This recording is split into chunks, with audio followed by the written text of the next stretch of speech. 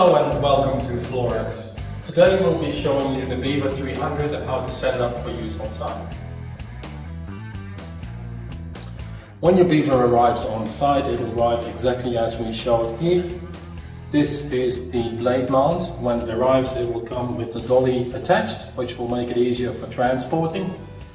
We move up, we'll see the Allen key. The Allen key will be used to release the bolts that hold the dolly in place and also fasten the blades. We'll have the two drive pins to secure your wheels to make sure that your wheels drive. Moving further down uh, the Beaver 300, you'll see a lifting point to make it easier to use a crane to lift it on or off site, on or in trailers. This is the speed controller um, which you'll use to, to set up the standard speed for your uplifting. Here you'll see the buttons for the reverse uh, mode. These are the buttons for the forward speed.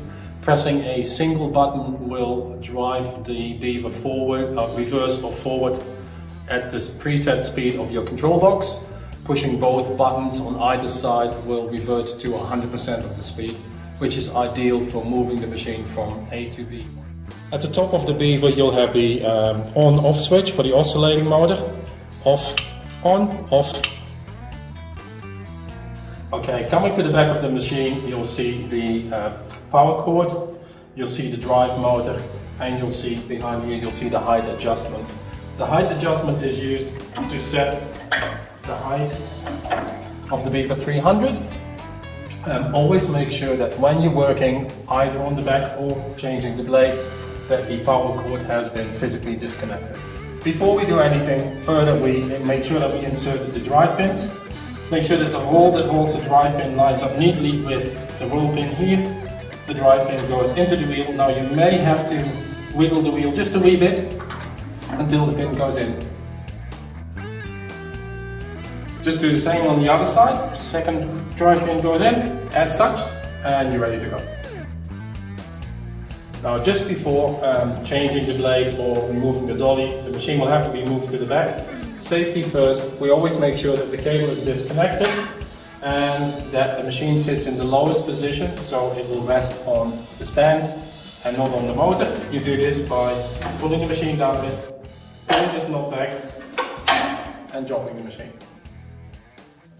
We'll now show you how to safely lift the beaver into its position for dolly change and for blade change. Make sure that your hands stay well clear of the blade clamp and the machine, as you'll see, will rest on its frame.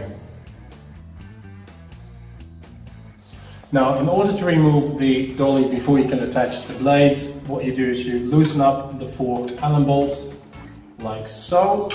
They don't have to completely come out, they just have to give you enough room to move the dolly out of the clamp. There you go. And the dolly comes out. Before we mount any of the blades, we have to make sure that we choose the right one. Um, here are two examples of our most commonly used blade. Uh, one is the 120 millimeter wide winged blade, usually used to start off, and then the 300 millimeter flat blade. We recommend starting with the narrowest blade first. The reason for that being is that there's more pressure per centimeter, you'll get a cleaner cut we start by striping the floor with the 120 mm winged blade, moving the machine over about 250 mm, do another stripe until the room's done, then you follow through, removing the rest with the 300 mm blade. As mentioned before, we usually start with the 120 mm uh, wing blade. What we do is we insert it, preferably in the center. Um, then we tighten all four bolts as we see here. Once you've done preparing your floor striping with the 120 carpet blade or wing blade as we call it, you go to the flat blade, mount the flat blade the same way as you did with the wing blade, tighten it and you can remove the remaining parts. One advantage of our system is that we have a direct shot oscillation system, which means the oscillation goes forwards and backwards only, which allows us to attach the blade Sticking out on one side, you can remove carpets or vinyls walking alongside a wall. We'll now show you how to put the, the beaver back into its position that you can use when you start working. Make sure that your arms and wrists are well clear of the blade and that you wear gloves at all times. Now there's two things to note just before you start cutting once you've got the narrow blade in is the speed control. I prefer personally to start at around 30% of the speed and the height you start as low as possible the only time when you would change the height is when the carpet or vinyl you're trying to remove is too resilient for the blade to enter it and to get between the carpet and the substrate. In which case you do the same as what we showed you before, move to the back of the machine, pull the knob and the machine will change its height and thus also the level of impact. When it comes to the ideal speed um, to which the beaver should run, is you make sure that um, you slow it down to a, to speed where the wheels do not slip or skid.